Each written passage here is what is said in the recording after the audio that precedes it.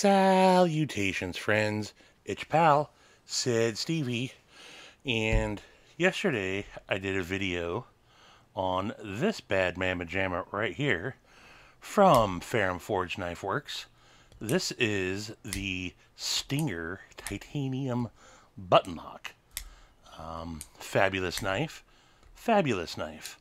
Uh, one thing I did not do in that video uh, something that I thought about doing and then just forgot doing, but it's come up already in some of the comments and people have been asking about it, is uh, testing it for its lock strength. Uh, will it pass the spine whacking test? Uh, so without further ado, uh, let's do it. Uh, I don't really want to whack this thing around on my work mat. So I have this fancy schmancy Ferrum Forge Stinger mat that I rarely ever use. And uh, let's uh, let's see what happens. So I've done nothing to this. I already know what the results are going to be, uh, but um, let's uh, let's let's. It's uh.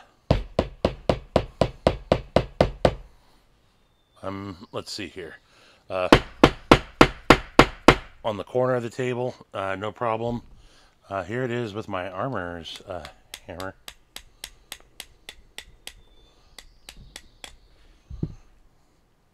I got nothing.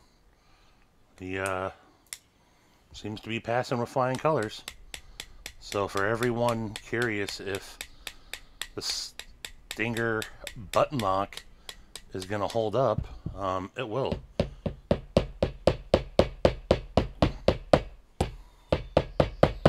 Am I spine whacking right?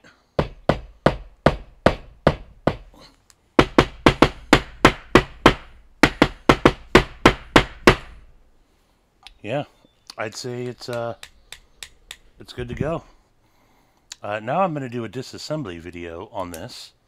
Uh, and when I put it back together, I'll spine whack it again and uh, see if anything changes once I put it back together.